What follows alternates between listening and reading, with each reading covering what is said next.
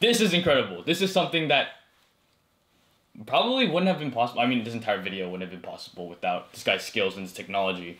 How's it going, guys? Kai Vertigoh, full-time FPV pilot here. Today we're breaking down a game-changing, mind-blowing FPV short made by JayByrd Films called Right Up Our Alley. Before we start, I just want to talk a little bit about where I'm coming from.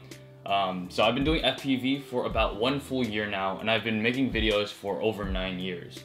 So this is a very special video because not only does it showcase incredible FPV skill, but it also has an amazing amount of choreography, direction, and blocking. And so we're gonna watch it through once. I'm gonna react to it with fresh eyes because I haven't watched this for over 24 hours. And then we're gonna go back and we're gonna break it down and I'm gonna help you guys see what made this video so incredible, how they did it. So here we go. All right. Wow. Yeah, we just got here. In now.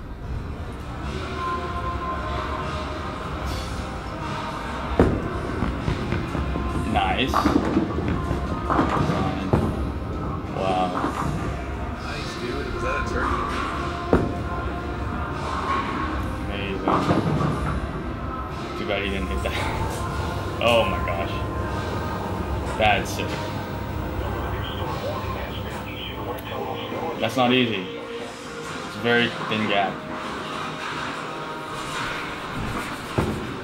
That's why you hit the floor a little bit there, but you kept going.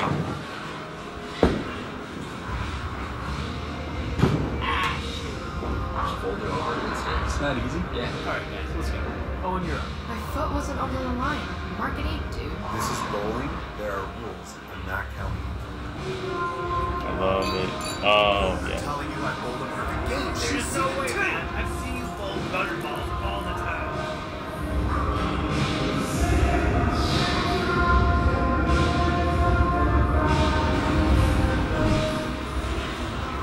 Wow. Oh my gosh.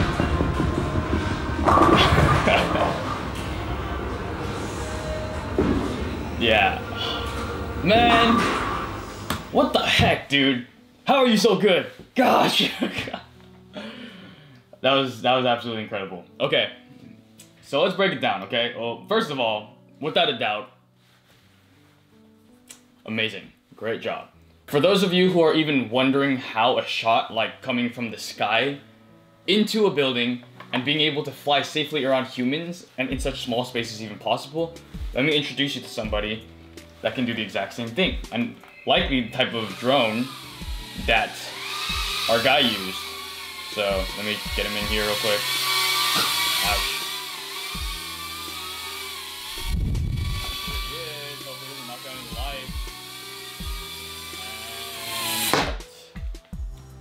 So this is an FPV Cinewhoop drone. And honestly, if I had to guess, this is probably along the lines of what our guy JayByrd used. Uh, it is a full first-person view, safe, protected whoop drone, and that allows us to be able to go into small spaces, fly safely around humans, and come up from any altitude in any part of the sky. So yeah, this guy is a beauty, and today we're gonna break down exactly what James Bird might have done to set up this, because there's a lot. Undoubtedly, there is so much skill involved in what this guy just did. But on top of all that, top of all that, there's incredible amount of blocking that even the best FPV pilots this date have yet to do. So let's go ahead and go do that right now. I'll leave the goggles on. I like to leave the goggles on just because it feels kind of goggly, you know? So what we see. So already we can see that he's coming in from the sky. That's incredible. So what they did was they made sure to coordinate with the actors in the front to make sure they open the door. The drone, as you can hear, is pretty loud, so they can tell when it's approaching, even if they can't see it. Um, everything. There's a really funny comment on the YouTube video that says the actual audio for this video was just like you could hear earlier, like so. Um, all of this sound you're hearing is done in post with a quieted um, timeline, and they just layered all of this different sound over to make it feel so immersive. So that's just another huge amount of brownie points I have to give to these guys. So let's keep watching. So he he threaded the door. There's so much ambient noise that they added in the background to make it feel more real. Like you're not you're not even really thinking about this when you're first watching it, but it's a lot of work. this guy made sure to time his throw with the drone approaching, so he probably uses ears, or they cued it somehow using radio. That was a great track, and then he managed to continue going through, getting a lot of action in just this one sweep. and there's a lot of dialogue and like audio in the background of people talking, which just makes it feel so much more immersive. And like a real, like you're actually in a bowling alley, and you're getting to see everything seamlessly in one shot. This is incredible. This is something that probably wouldn't have been possible. I mean, this entire video wouldn't have been possible without this guy's skills and his technology. But seeing from the bowling alley, from from the actual lanes, and then the ball is being able to go down and see everybody in the entire area, going to hear the audience um, that's playing, and then going up into the background where the actual machinations of the bowling alley is working. This is a perspective I've never seen before. Wow. And then he flew through the background. Notice how it was still very visible. So I, it looks like they use natural lighting for the most part, which is amazing because everything is exposed really well. So that's another 100 points I gotta give. Especially when you're going from outdoors, which is complete black, except for that neon sign, into this building. Everything is lit pretty dang well. So it looks like he bounced off the floor though, that's fine. He flew through this guy's legs in one take.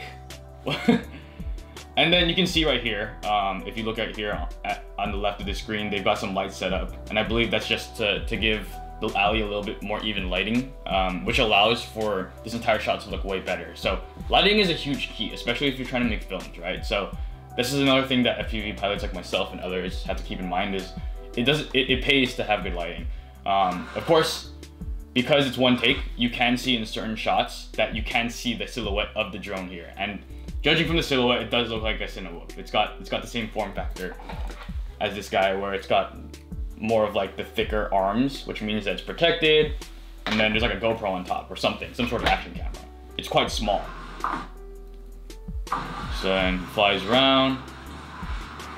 It is a little bit grainy, um, probably because they allowed the, I, the ISO, which makes the exposure range higher, um, but also allows for just you're able to have a lot more diverse level of lighting within the entire scene. So it wouldn't have been possible without this type of auto exposure. That was awesome. the fact that they came up with lines to superimpose over this, the the people in in the video. And I haven't watched The Big Lebowski, unfortunately, but I've heard that these are all references to it. So they did an amazing job with the planning, right? There's a lot of pre-production going into this. This wasn't just willy-nilly like he flew in. Everything here is designed and choreographed. So you have to give it to him. That clink.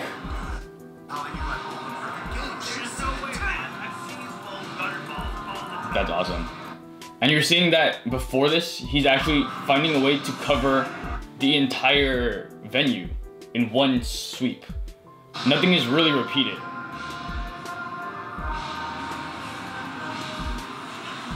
And then he goes and he times it with this throw, and he becomes the bowling ball. And then we even get to see the inside of the machine. Like, crazy. Absolutely insane. So freaking good.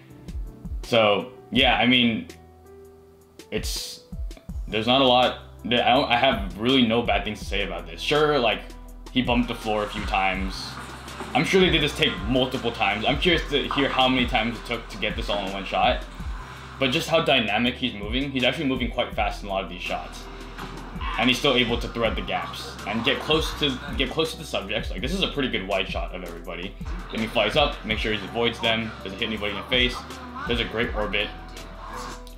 You can see in certain shots, and it's very it's very negligible because it's, it's quite fast, but you can see that the shadow of the drone is getting cast. Unfortunately, that is something that we have to deal with as drone pilots and have to find a way to avoid. Is how can we light the scene so that shadows aren't being cast in the drone? Um, it's, it's a huge thing that we have to keep in mind. And this guy did a good job of mitigating that by adding lights. But at the same time, those same lights are casting shadows. So the best thing we can do in the future when we're doing future projects as FPV filmmakers is find a way to shoot lights to make sure that it avoids any shadowing. So he keeps going. Clink. Amazing. The sound design is ridiculous. I, I can't wait to see the timeline if he makes it behind the scenes. Jay, I really hope you make it behind the scenes of this. I'm just speculating and trying to figure out exactly what you did. It's a freaking masterpiece, but I would love to see also just like the onset effort that went into this because every single person in this video is choreographed. Everyone knows what's going on. Everyone is given a role. These guys were told to celebrate, maybe given some lines. This girl was told to use the bar at a certain time because nobody's actually looking at the drone, which means that if you're a regular human who wouldn't know what's going on, you definitely look at a loud ass, like fly ass thing coming your way. But everyone here is kind of well, this guy is celebrating the drone, so maybe, I mean, not sure if he was told to do that, but he's having a good time, and he was told to do something, and then throws. Yeah, I gotta give it to this guy, man. Oh man, that's that's a lot for a minute and a half. The amount of pre-planning, making sure that your flight path is understood, that's so comprehensive that it covers everything. It's timed properly with actors that are given roles to play. Um, it's it's timed with action. It's choreographed with actions like throwing the balls, like clinking the glass, like talking, doing the emotions and the emoticons that actually match with the dialogue. Um, the sound design t- that that that is so undervalued, which is just that ambient noise in the bowling alley that's playing throughout the entire clip. It just sucks everybody in. It's, it's a huge lesson, and I've learned so much from watching this video. It's incredible, and yeah, flying through these small gaps like this guy, these guys' legs down under these pins or these, these like lane giver thingies, and then yeah, making sure you capture this guy when he's walking back after he just threw his ball.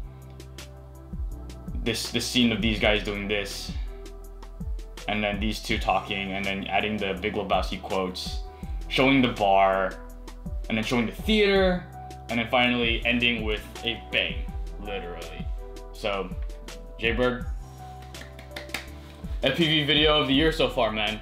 I, I don't know what to say. This is the type of stuff that I am dreaming of doing. And I've heard that James Gunn tweeted to you that he wants you on the set for Guardians of the Galaxy 3. So I really hope he sticks to that promise because if he does, that is a giant leap for FPV kind. And besides from that, your videos are going viral right now. You're on Unilad, you're on Instagram blowing up, you're on YouTube blowing up. So, I mean, it's been an honor to be a part of this craft that you're pushing forward. The one thing that blows my mind about this video and just the possibilities that FPV and these emerging technologies bring is the am- amount of fantasy that's being injected into real life.